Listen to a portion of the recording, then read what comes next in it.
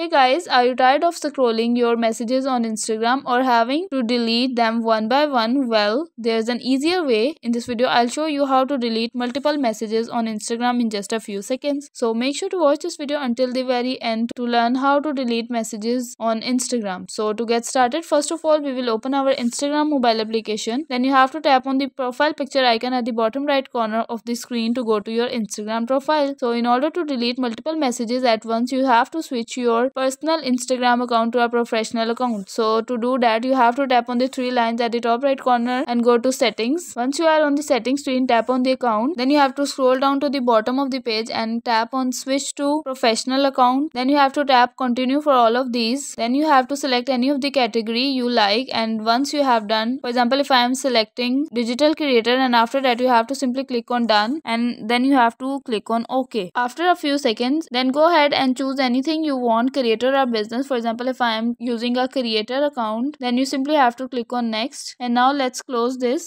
so now let's go over to your dm so once you have switched your account to professional account you will see these three lines with the dots you will see these three lines with dots looking icon right next to your username so go ahead and tap on that and after that you can select all the dms that you want to delete and simply tap on delete at the bottom right corner of the screen and then you can easily delete them okay so guys that's it for today hope you guys like this video if you you guys like the video give it a thumbs up don't forget to subscribe the channel hit the bell icon thank you for watching